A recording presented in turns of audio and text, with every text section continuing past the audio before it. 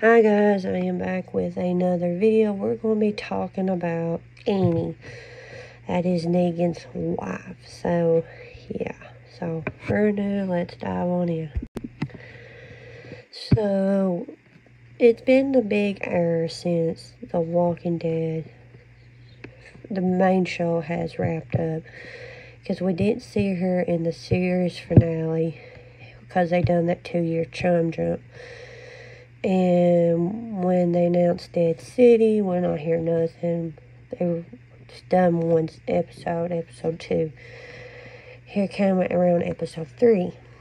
Negan finally said that Annie, Joshua, and him was living in where they're at, and Annie got hurt, so he told Annie and Joshua to go on a train and head to Missouri, or they got loaded up and went to Missouri, and that he would be right behind them.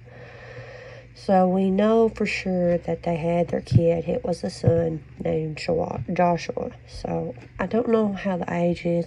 He might be between two, two, between two to six years old age range. So yeah, so it makes you the big question is why did not Negan go behind and well one thing why didn't he go with them in the first place?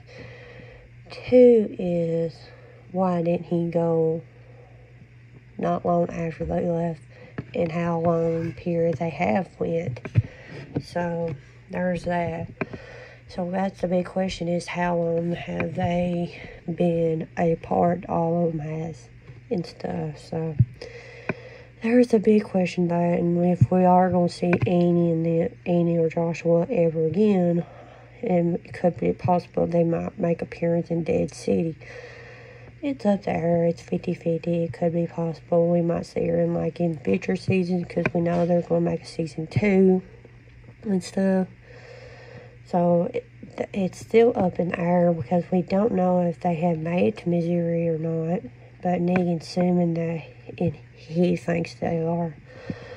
So there's all that. So it's just like we somewhat got confirmed that Annie and the baby, well, their son has survived everything, but still we don't know if they have made it to Missouri or not. So I want to hear your guys' thoughts and opinion in the description below. So, yeah, if you're new to my channel and you like what you see, hit that subscribe button, turn on bell, keep posting new videos, and I'll check you guys out in my next video.